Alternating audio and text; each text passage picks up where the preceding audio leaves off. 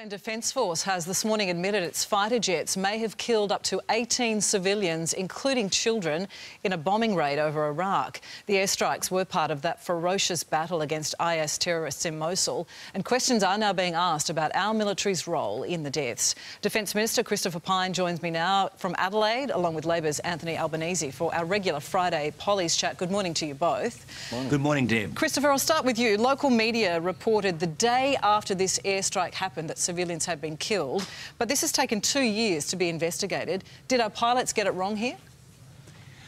Well, it's very important that the uh, that when allegations like this are made, that a proper investigation is conducted and not uh, social media posts relied upon for evidence. Now, the social media post suggested that anything between 30 and 50 people had been killed after a thorough investigation conducted by the Australian Defence Force.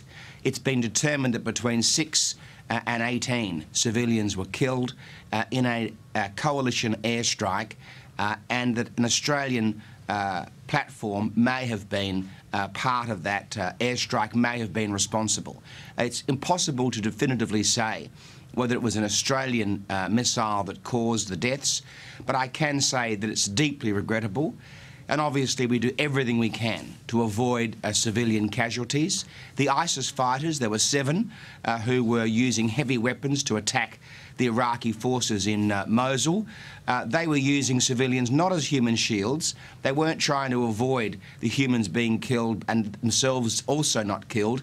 They were, they were hiding them from the coalition forces in order for them to be killed. Well, there's no doubting the ferocity of the battle, but what will the consequences of this deadly mistake be? Will there be compensation offered to the surviving family members?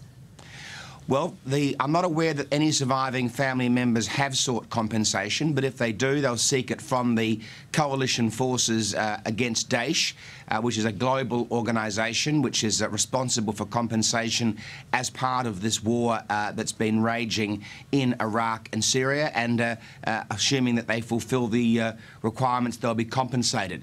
The Australian platform was operating entirely within the rules of engagement and under the law of, warfare. And and so there'll be no discipline uh, for the uh, the pilots involved because they were doing exactly the job that they were supposed to do. Okay.